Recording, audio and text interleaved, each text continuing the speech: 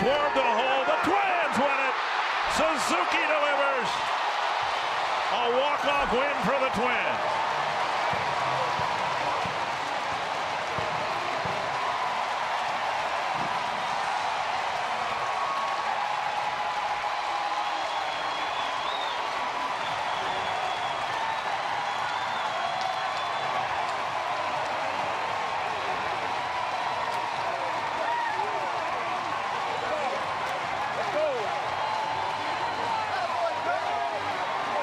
They intentionally walked the rookie Rosario, and the veteran Suzuki eventually, after a couple of wild pitches, wins it for the Twins.